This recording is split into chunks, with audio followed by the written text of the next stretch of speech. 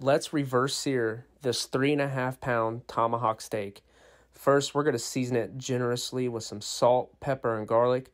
We're going to hit all sides of it.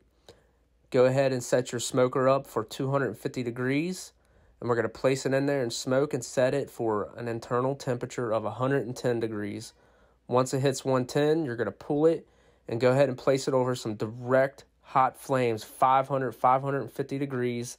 Sear it for about a minute and a half per side. As you can see, the crust is looking nice. We're going to remove the bone, remove the spinalis, because I love that part. I save it for me.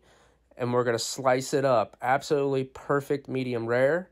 And for this beauty, what we did is we made some red chimichurri that we're going to top it with.